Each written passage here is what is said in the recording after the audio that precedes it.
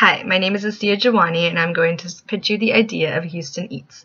Houston is known to be one of the most diverse cities in the United States, and a melting pot of different races, religions, and cultures. Food is a huge part of culture and a very big part of Houston. With over 8,000 different restaurants and eateries, Houstonians love their food and they love going out to eat.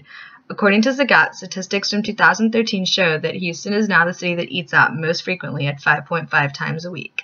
Usually people search websites such as Yelp and Urban Spoon to see where they should eat near them. Houston Eats is a website devoted solely to rating, critiquing, and celebrating Houston area restaurants and eateries. The website will have every single Houston area restaurant categorized by cuisine, rating, price, and location. There will be blog posts with reviews from us, picture galleries, a section for customer reviews, comments, and ratings, and the ability for local restaurants to advertise and post coupons and specials. Houston Eats is unique and different from other Houston food blogs and websites because we will feature two Houston Eats Out webisodes a week, which will be 30 minute showcases on a specific Houston area restaurant, eatery, or food truck. The webisode will feature an interview with the restaurant's main chef and owner, a video tour of the restaurant and scenes of the local area it's around, images and details of a couple different dishes, a segment on one of the most popular dishes being cooked by the chef and then tried by the person filming the webisode, and a couple interviews of customers that are currently eating at the restaurant.